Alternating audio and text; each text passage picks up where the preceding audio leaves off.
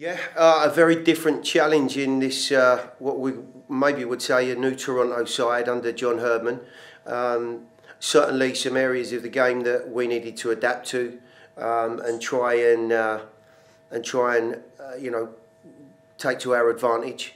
I thought the early exchanges we should really have been a couple of goals to the good, some very good signs with some more aggressive pressing.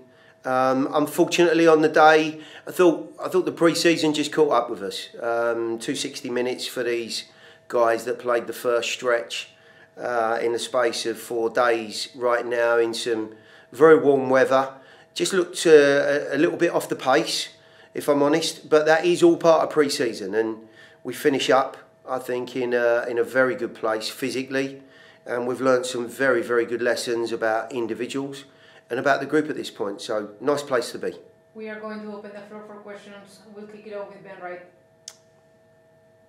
Yeah, Gary, um, Hany got his first action of preseason. I know you mentioned that he's kind of been worked back slowly um, after some issues. How did he look?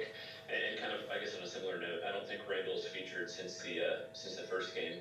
Is he dealing with injury, um, or, or kind of can you give an update on his status? Yeah. Um, yeah, let's let's take Hany first of all. Um, yeah, he came into camp, needed a, a, a bit of work on a, a foot problem, and slowly but surely got himself back into a really good place. Great to see him out there. Planned on 30 minutes, ended up getting 40, so it's a nice a nice day today for him. Finishes on a good note, uh, and we give ourselves what is it, two and a half, three weeks before we play Moca. So uh, I'm, I'm delighted for that. That's a, that's a big plus point of the day. Um, Randall, you know, went away with Costa Rica. Um, he was called into the group, and I do believe that there's been some news out there about his uh, his injury, but he's actually been injured in camp, and he's on his way back home. May even be there right now. Hi Gary. Um, just a quick uh, couple of things on uh, Jack Maher and Lukas MacNaughton have kind of carried the, the bulk of the minutes at, at the uh, centre halves during pre-season. So just some thoughts on, on how they're looking. Uh, and also on Dru Yearwood, obviously you want to push up the field a little bit more at times this season. Uh, how is Dru adapting to, to his midfield role? Yeah, I, look, the two centre backs, um, they featured for us last year. Tony, as you well know, did a very good job. I want to build that relationship and keep building it.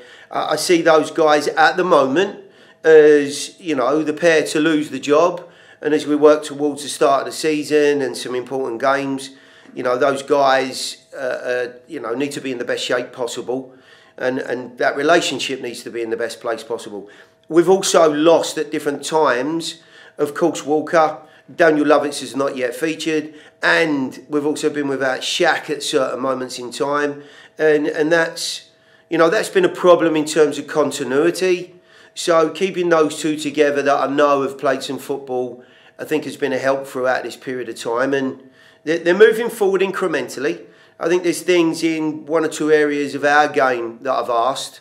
Um, you know, a tad more aggressive, higher lines, you know, front foot approach in certain periods of the game that need some adapting to. And, and both of those guys are showing all the right signs and credentials, but certainly mistakes being made all around the field. And, you know, what we've found in this pre-season is that, you know, we've either seen some very high standard um, with and without the ball, or we've learnt some very important lessons. There's no, there's no desperately bad things going on with the group. They're in good shape, and, and we move forward in a much better place. As far as Dru's concerned, he had a bit of a tight quad middle part of, of this uh, camp.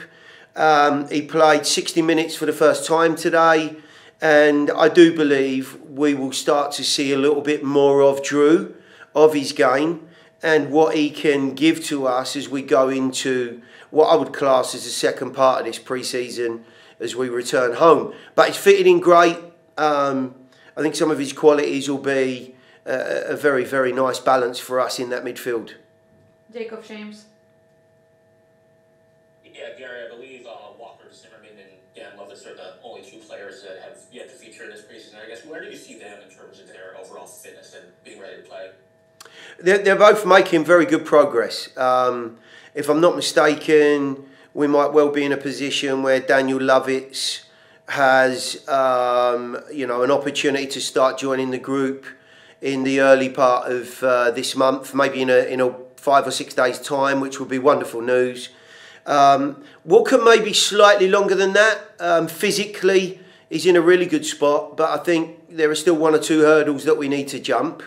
The uh, you know the the projection for Walker is to be back in contention and looking for minutes um, in and around that first game against Moca.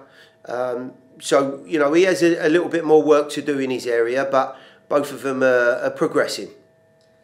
Final question with Lucas Pansica. Take us home.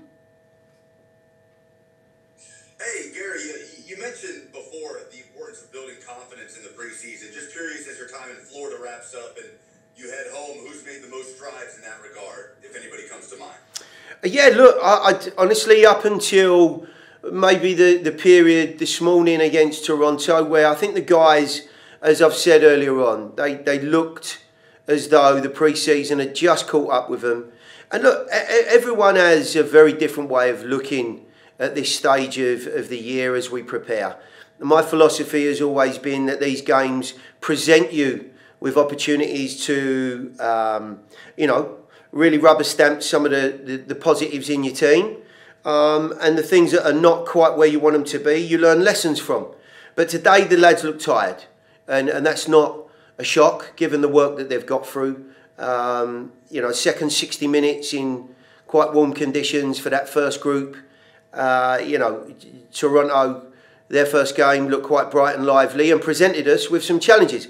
But nevertheless, you know, there were, as I said, still some really good opportunities to have got our noses in front. I think Sam, Tyler, um, the two wide players today, Mackenzie and, and Jacob, up until today have, have shown some wonderful signs.